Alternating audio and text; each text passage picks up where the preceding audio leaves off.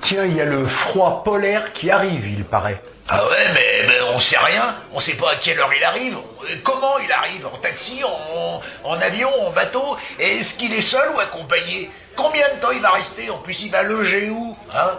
Ah, les, journalistes, les journalistes, ils en savent pas plus que nous. Ah, tienne. Je te foutrais tout ça chez Poutine, moi.